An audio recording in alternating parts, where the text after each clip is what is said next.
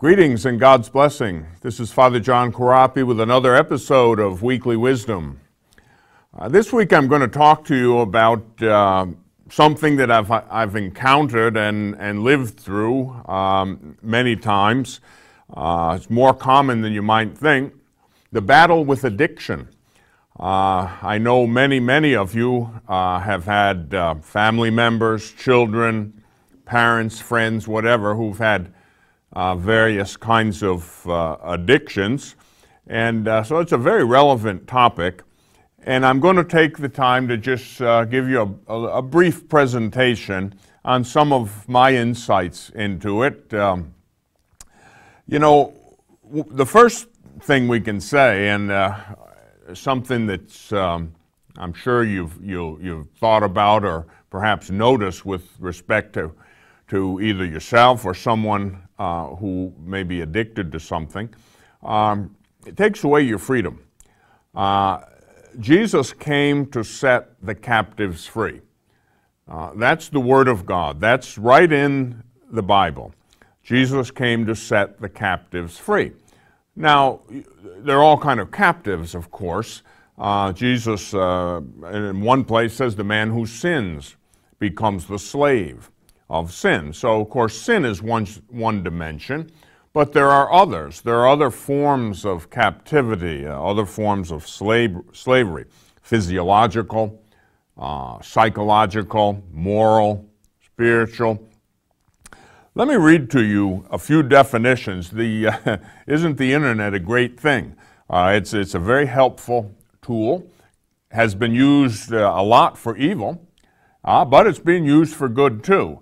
And uh, let me, uh, it, it, one of the things doing research, um, it's so much easier now. You can, um, for instance, when I want to look up a, a word or I want to get uh, the world's definition of certain terms in order to have a point of departure, uh, I can uh, just put that in and do a search, and uh, you, you, get all kinds of things. I put in addiction and did a Google search on it and you come up with, um, from the Web Dictionary, all kinds of, um, uh, of definitions from different spheres of influence, whether psychology, sociology, and so forth. Let me read a few to you and, and just listen uh, to what they say about uh, addiction.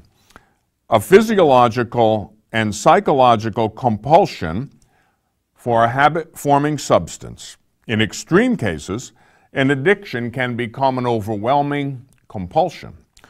Another definition is that addiction is a primary chronic neurobiologic disease with genetic, psychosocial, and environmental factors influencing its development and manifestation. Note it, it affects everything. It's a primary uh, condition, uh, primary chronic uh, neurobiologic. It affects you uh, neurologically, biologically. It affects you physiologically.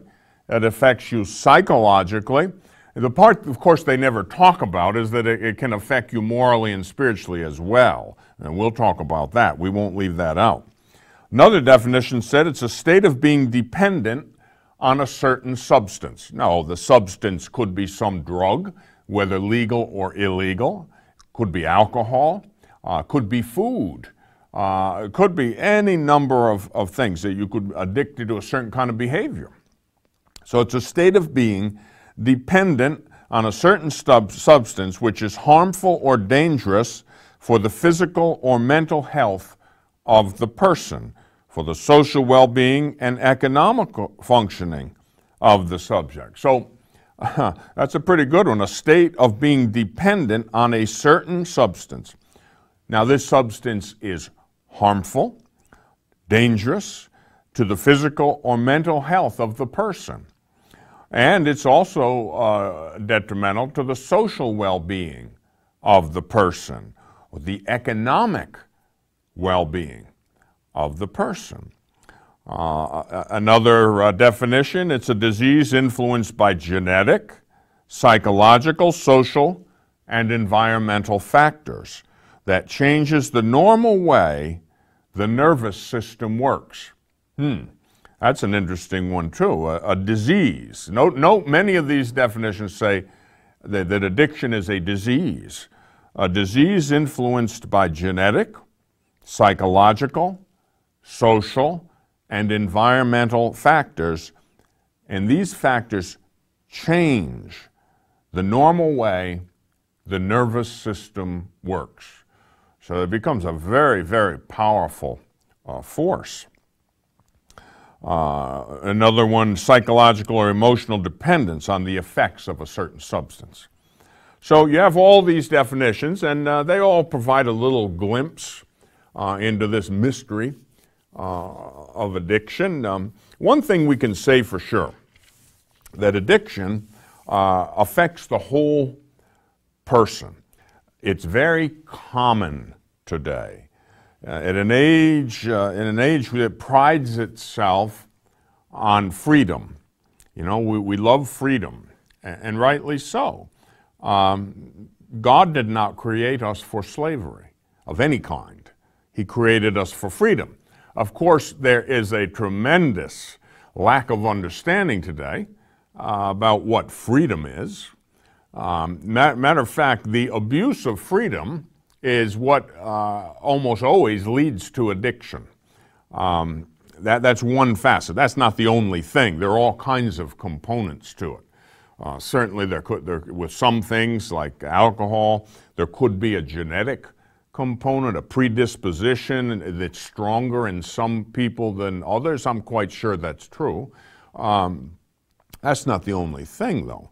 Uh, there are many different components to it. Uh, it's very common today. I, I suppose um, um, doctoral theses could be written in sociology and, and psychology on um, the uh, dynamics uh, uh of addiction. Uh, it's a very, very important thing, and it's very, very um, detrimental to the individual human being, uh, certainly to the family, to all of society. Jesus came to set the captives free. Uh, and this includes those who are enslaved physiologically, psychologically, uh, economically. Jesus came to set the captives free. God did not create us for slavery. Uh, God created us for freedom. Uh, in the Gospel of John, John Jesus said, um, You will know the truth, and the truth will make you free. Uh, knowing the truth, uh, facing the truth, acknowledging the truth is something that we, um, we really should um, strive to do, obviously. Um, and it's a first step. Uh, I find there are two equal um, elements here. Yes, you want to know the truth because the truth is light. You can't see without light. So you want to know the truth. Uh, face the truth squarely, head on, honestly uh, humbly. Uh, there's a great connection between humility and truth. A person who is not basically a humble person or who, who is not willing to be a humble person will never really be able to see the truth. Um, they won't be able to hear the beautiful symphony of truth. Uh, they'll be blind. Uh, they'll live in darkness. And um, of course, that's a, a catastrophe, uh, both for individual human beings and for society uh, as a whole. So, addiction is one of the ways we lose our human freedom. And this is truly essential. This is right at the core of Christianity. Uh, why did the Word become flesh and dwell among us? Why did Jesus, the eternal Word, God, assume a human nature and become like one of us in everything except sin? Well, redemption. You know, the term basically means a buying back, like a commercial transaction. We were sold into the slavery of sin. We were trapped.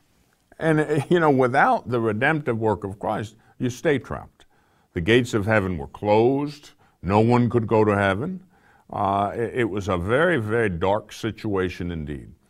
But uh, the Messiah came, the anointed one of God. That's Jesus. Anointed with what? The Holy Spirit the oil of gladness. And so Jesus came to set the captives free. But today, addiction has become so commonplace. I, I think there's always a, a root, um, these things are interconnected. You know, the physiological dimensions, which would include genetic component, psychological. Uh, that's not all, though. In addition, you have a moral dimension, you have a spiritual dimension. And, and each one of them, they don't operate in a vacuum, okay? They, they operate uh, interconnected. Uh, so you, you really can't treat these things or deal with them um, in, in, a vacuum. If you think all there is is the physiological dimension uh, and ignore everything else, uh, you're probably doomed to failure. Uh, you are doomed to failure.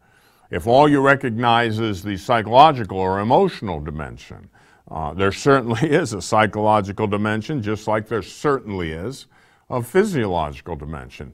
But you can't ex- uh, concentrate on one to the exclusion of the others. They're all interconnected, compenetrated. And so you've got to take it as a whole. You've got to take the person as a whole. We, we are, uh, I might use uh, terms from metaphysics, we're, we're an ontological integrity. We have a physiological, psychological, moral, and spiritual dimension. Those dimensions are interconnected, and, and you can't uh, ignore one or more of them and hope to win. So, I'm going to mention uh, at this point, you know, in, in most all addiction, there is a physiologic, physiological dimension. For alcoholism, for instance, it certainly affects you physically. Uh, anyone who uh, is an alcoholic would tell you that. It, it has a profound effect on you physically. And it also has a profound effect on you emotionally. Now, what most people don't know uh, or won't acknowledge um, is that there's a profound moral uh, effect uh, of alcoholism or any uh, true addiction. It affects you morally. Um, you, you'll, you find you'll do things uh, when you are, uh, whatever the addiction is, whether it's a, a legal drug, uh, uh, painkillers, whether it's an illegal drug, cocaine, heroin, whether it's alcohol, it usually influences a, people, a, a person such that they will do things morally that they wouldn't have done otherwise. They may be, get violently angry. Uh, they may, they may uh, engage in um, immoral um, behavior of other type. Well, uh, th- that's commonplace. Um, and then spiritually, it, it, it, it, almost eviscerates you. It, it just empties you out to the point where it becomes very hard for you to put God first, neighbor second, and you last. It becomes very hard to love the Lord your God with your whole heart, mind, and strength if you're the center of your activity and your very being are, are, are centered on, on some substance. In effect, it's a form of idolatry. Uh, you really erect that substance, whether it be alcohol, cocaine, painkillers, um, any number of things. Um, you could be addicted to, to stealing. Uh, some people, kleptomaniacs, you know, there's a, a kind of a, an addiction to taking things, stealing things. Um, and so that becomes the center of your universe after a while. And so, not God. God isn't the center of your universe. This um, false God uh, that has been erected, uh, this, this idol that's been erected, takes the place of God. Um, with alcoholics, it's a progressive disease. It goes from bad to worse, inevitably inevitably. And, and, pretty soon it consumes the individual. It becomes the center of the universe. Where that, that's, we're made for God. And unless God is the center of our universe, we can't be happy. St. Augustine uh, said, Our hearts are restless, O Lord, until they rest in Thee. And so uh, we, we, really ha- have to uh, have God first. Now, I'm going to go through um, the 12 steps from Alcoholics Anonymous. Now, you may say, look, I'm not an alcoholic. Um, why would I have to hear that? Oh, it's, it's, it's very instructive uh, for everybody. And, and many, many people, I would even dare say most people, are addicted to something. Uh, if you're overweight significantly, um, then you probably have a kind of an addiction to food or eating that's unhealthy.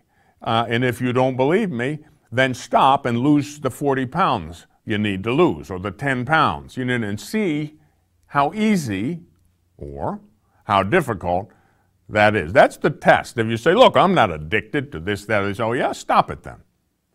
Just be honest. Say, okay, I'll stop it. And, and if you can, without any difficulty whatsoever, then maybe indeed you, you don't have an addiction to, uh, to uh, whatever it is. Um, maybe food, maybe alcohol, maybe uh, drugs, legal or illegal, a certain kind of behavior that's destructive.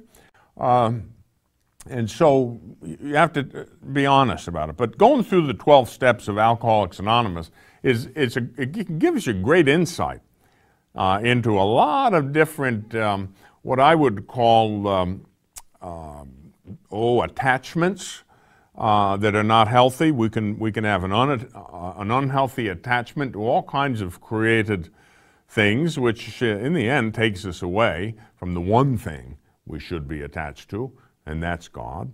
Uh, Alcoholics Anonymous uh, says that we, we admitted we were powerless over alcohol. Now, you may feel you're powerless over food. You know, uh, you say, look, I, I had to admit at a certain point because I just kept gaining weight and gaining weight. You know, my blood pressure went up, my heart rate went up, I got diabetes, I began to get all kinds of other things. Uh, and at a certain point, I had to stop and, and realize what I was doing to myself. And so that first step, we admitted we were powerless over what it, whatever it is that you're addicted to, maybe alcohol, maybe food.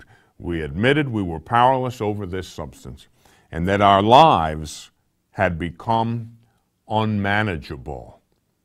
That's the first step in the 12 step program. Um, many of us, uh, uh, ourselves or loved ones, uh, we, we know there's an addiction there. That's, that's the first step honesty. We admitted we were powerless over this material and that our lives had become unmanageable. Secondly, we came to believe that a power greater than ourselves could restore us to sanity. Now, note that it, it, it's stating outright that this is insane. When you become so attached to a, a created good, a substance, alcohol, drugs, food, whatever it is, when you become inordinately attached to this, uh, you, you, you, realize you're powerless after a point, if you're honest. And um, you have to come to believe that there's a power greater than ourselves. You know, that for us, that's God, of course. That's the, the Father, Son, and Holy Spirit.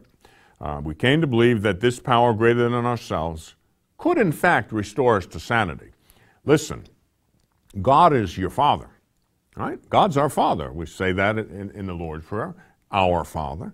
God is our Father, and He's all powerful by definition.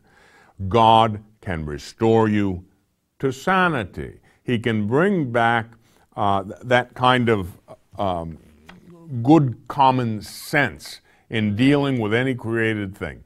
Look, if you're if you're way overweight and and this our country is becoming increasingly obese and it's causing all kinds of physical and psychological problems. We're out of control. Well, God can restore us to sanity.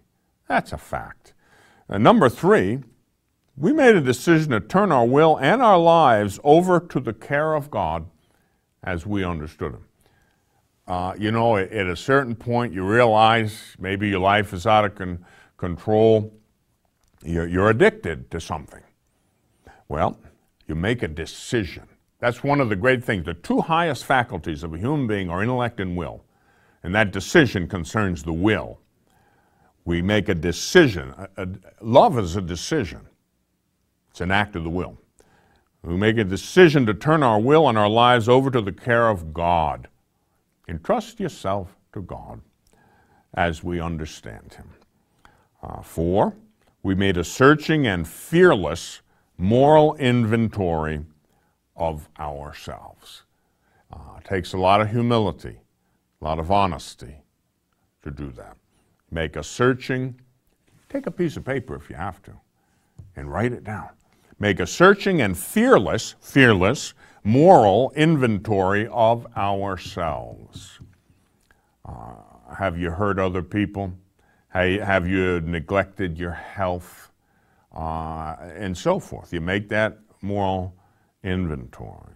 And then five, we admitted to God, to ourselves, and to another human being the exact nature of our wrongs um, in a kind of a, an, an, analogical sense. It reminds us of confession. Uh, we go to confession, and who do you confess your sins to? God. You're confessing your sins to God through the ministry of the priest, yes. But uh, note the, the process here. Uh, we admitted to God, to ourselves, and to another human being, the priest, the exact nature of our wrongs. Now, not everybody's Catholic, not everybody has uh, recourse to the sacrament of, of confession or reconciliation. And so they, but they recognize in the 12 step program, and by the way, the 12 step program of Alcoholics Anonymous basically is the only thing that works for alcoholics. They've found that over time. Uh, you know, people think, oh, they can do it some other way. It, it, it, the other way doesn't work. Inevitably, this works. It's been around for a long time, and it in fact works. If, if anything's going to work, this will work. And it's not just alcohol, you know, addiction to anything. It's the principles that matter. So we admit to God, to ourselves, and to another human being the exact nature of our wrongs. Boy, if that doesn't describe the sacrament of confession, right? And if you don't have confession, you go through that process anyway. Admit to God, to yourself. Be honest. God knows anyway, but admit it to God, to yourself, and to another human being. God didn't create us to live in a vacuum. We have to have some social contact. We have to have help from other people at some time or another. The one who doesn't want you to have that help is the devil. He wants to get you off in a corner by yourself, where you're all alone and he can work on you. Number six, we were entirely ready to have God remove all these defects from our character. I guess that, that, that's kind of right at the crux of it, isn't it? We were entirely ready. If you're not entirely ready, uh, I guess you won't do it. But we were entirely ready to have God. Now, note that it's God who removes these defects. We can't remove them ourselves. You know, some things are beyond a, a human being's power. If you're up to your neck in quicksand, how are you going to get yourself out? You're not.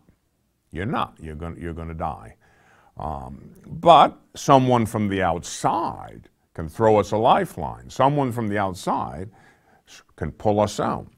We were entirely ready to have God, who can do all things. You know, for man it's impossible, for God all things are possible. We were entirely ready. I think that's the operative words there. We were entirely ready to have God remove all these defects of our character. Seven, we humbly asked Him to remove our shortcomings. Note the, the, the, progression. Number one, we were entirely ready. And number two, we humbly asked Him. Humility is, is right at the crux of this. Um, uh, you, in so many ways, we have to cultivate the virtue of humility. Uh, there, there may be many definitions of the term, but the one I like the best comes from the saints, where humility is the acknowledgement of the truth. The truth.